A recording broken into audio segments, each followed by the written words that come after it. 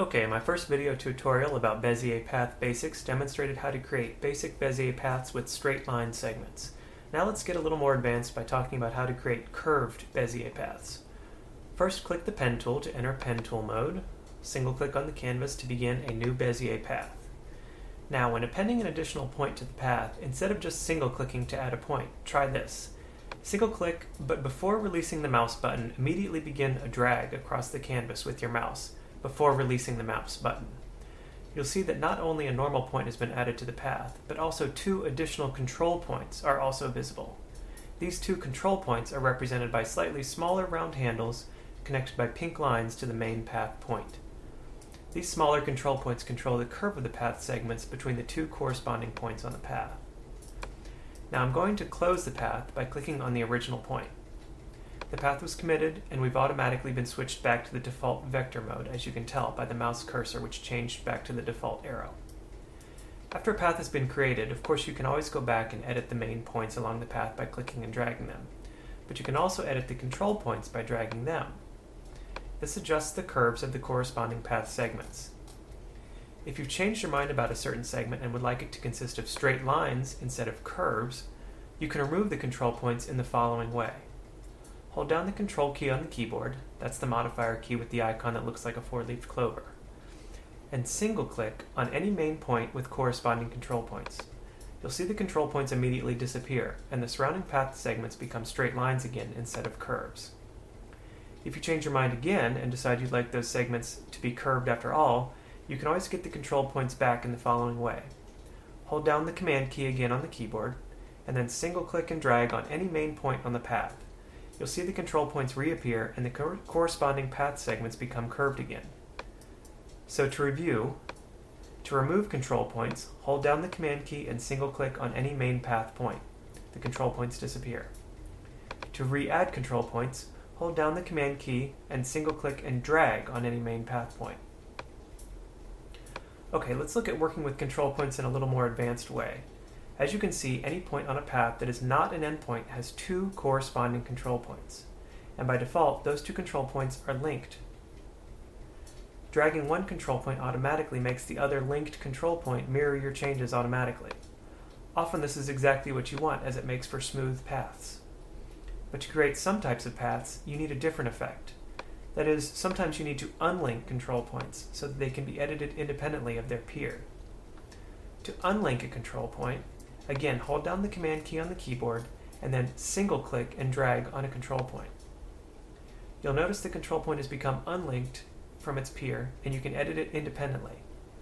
This causes a dent or a point in the curved path, but that's often what you want.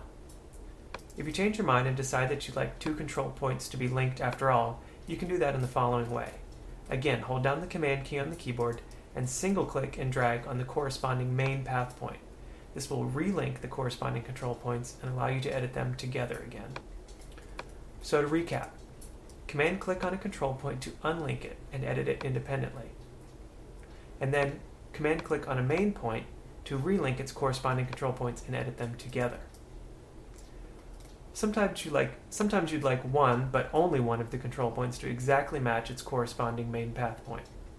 You can collapse a single control point by holding the command key and single clicking a control point. You'll see the control points are unlinked and one of the control points is collapsed and disappears so that it exactly matches its corresponding main path point. Again, that's command click on a control point. Now you can edit the curve on a single side of the main path point by dragging the remaining unlinked command point. To get both control points back, just command click and drag on the main point. Again, the control points are relinked and both reappear for editing. One final tip. Sometimes when you're creating a complex Bezier path in the pen tool mode, it's nice to be able to unlink control points while you are still creating the path. I'll demonstrate by creating a heart shape with the pen tool. I'll re-enter pen tool mode by pressing the P key on the keyboard, and I'll begin creating my heart shape with a single click and drag. Note that I began dragging immediately after clicking before I released the mouse button. You can see the two control points appear. The two control points are linked by default as usual. That is, dragging one control point causes the other control point to mirror the movement. Now, to conveniently create my heart shape while I'm still here in pen tool mode, I need to unlink my control points now. So I'll press the Command key on the keyboard while I'm still dragging my control point. I still haven't released the mouse button. You can see the control points were unlinked when I pressed the Command key, and now I'm editing just one control point. Perfect. When both control points are placed where I'd like them, I'll finally release the mouse button and move on. To create the next point, I'll single click and immediately begin dragging before releasing the mouse button. I'll continue dragging until one of the control points is placed where I'd like it. Once again, I'll unlink the control points by pressing the Command key on the keyboard now. The control points are unlinked, and I'll place the second con control point where I'd like it to be. Now, finally, I'll close the path to create a heart. Now I'll delete my heart by selecting it and pressing the delete key on the keyboard. And now I'll repeat the creation of a heart one more time for demonstration purposes.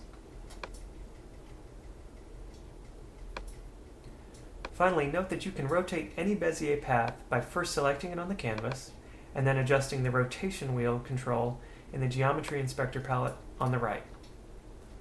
As you can see with the Bezier path features demonstrated here, you can create literally any conceivable path or shape.